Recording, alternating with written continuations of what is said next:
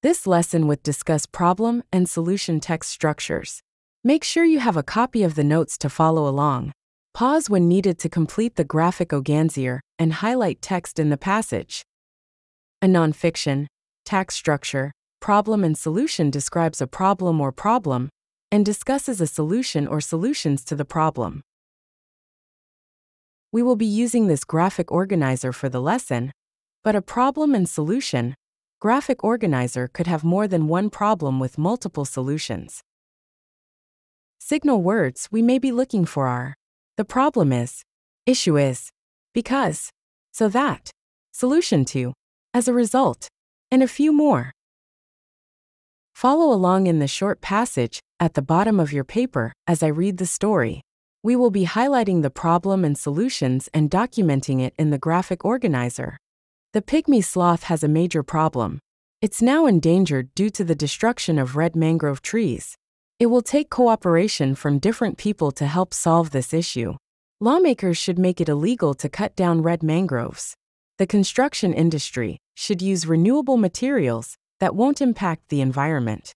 People should donate to foundations that protect the environment. They can also help to grow and plant red mangrove trees along coastlines so that pygmy sloths have places to live. The first sentence tells us that this is a problem and solution passage by stating there is a major problem. The second sentence tells us what the problem is. Take a moment to highlight this second sentence and write it down in the top box of your graphic organizer on the back of your notes. Now that we have identified the problem, we are going to identify the solutions. In the fourth sentence is the first solution we are given. It states that lawmakers should make it illegal to cut down mangrove trees. Take a moment to highlight this sentence and write it in your graphic organizer.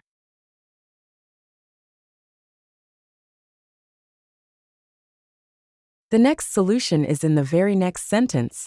Take a moment to highlight the sentence and add it to your graphic organizer. The final solution is in sentence 6.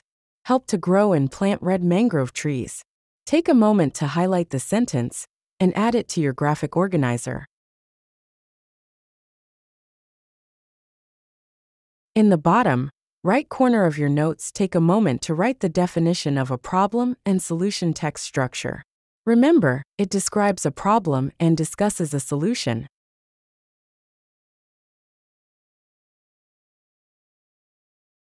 Finally, go back in the passage and circle the signal words we found. Then take a moment and include them in the bottom left box of your notes. Some of the signal words we found were problem, due to, and solve this issue. Now it is your turn. Make sure you glue your notes into your journal.